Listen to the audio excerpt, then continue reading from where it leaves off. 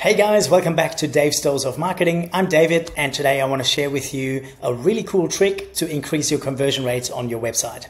You might already have a form on your website, whether that's to um, uh, whether you're offering a free download or a free strategy session or maybe a webinar registration. And sometimes you might want to capture a little bit more information than just a first name and email address. The thing is, the longer the form gets, the more the less likely people are to fill it out and you might lose them in the process.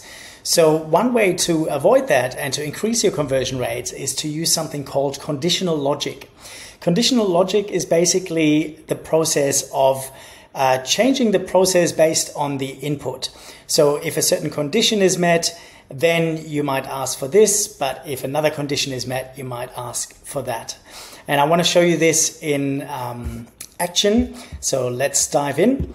This is a website we launched for a client here in Queensland. And on their website, they are offering a free uh, trial class. And they require a little bit more information because some of their customers are parents inquiring for their kids, but they also have adult classes. So sometimes the person inquiring is inquiring for themselves.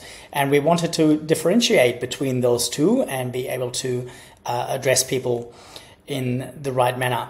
So what we've done is we've created a little drop down. And once you select who you're inquiring for, so let's say I'm an adult, you only see those two fields. And once I start filling them out, then I'm good to go. However, if I'm actually inquiring for a child, so let's say for um, Kevin, and now you'll see um, another field popped up, right? So student's last name, and then it's also asking for the parent's name. To that. Then we just need an email address.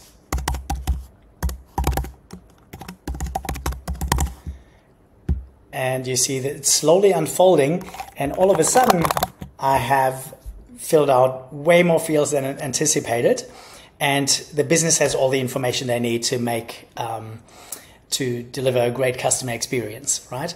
But that's one simple way to really increase your forms conversion rates on your website. I hope you found this helpful. Make sure you like and subscribe for more little marketing tips. And I hope to see you in the next video. Thank you for watching. Bye now.